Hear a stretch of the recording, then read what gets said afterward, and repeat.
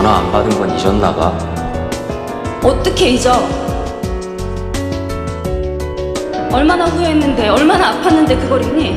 사랑하는 남자가 있어요. 근데 그걸 너무 늦게 알았어요. 기다려달라고 했는데.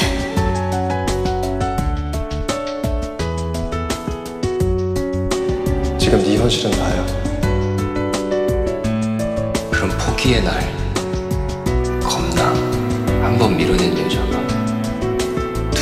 밀어낼